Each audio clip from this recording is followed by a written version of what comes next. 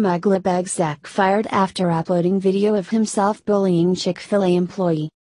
Liberals truly believe it's okay to attack conservatives or President Trump when they act like a bully, but when they themselves do it. It's a totally different story. As Clinton and other liberals do best. It seems when they tell a lie often enough they actually believe it. Reality goes out the window. That's what one smug executive found out after bullying a fast food worker at Chick fil A, and gloating about it on YouTube.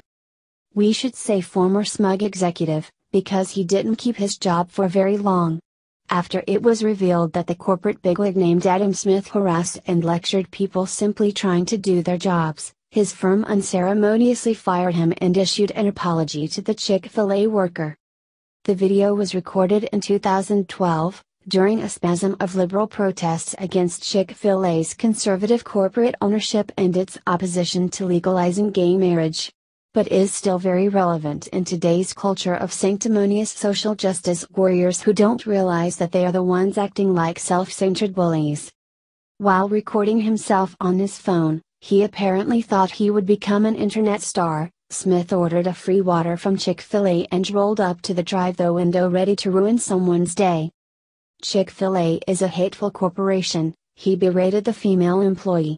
I don't know how you live with yourself and work here. I don't understand it. To her credit, the young worker was incredibly gracious and kind to the men verbally assaulting her. She repeatedly wished him a nice day, even as he chastised her that he just can't stand the hate. It turns out that being a condescending jerk isn't great for your career. Soon after the video went viral, the appalled corporate employer of Adam Smith, Tucson based medical manufacturer Vante, dropped him from its payroll. The actions of Mr. Smith do not reflect our corporate values in any manner.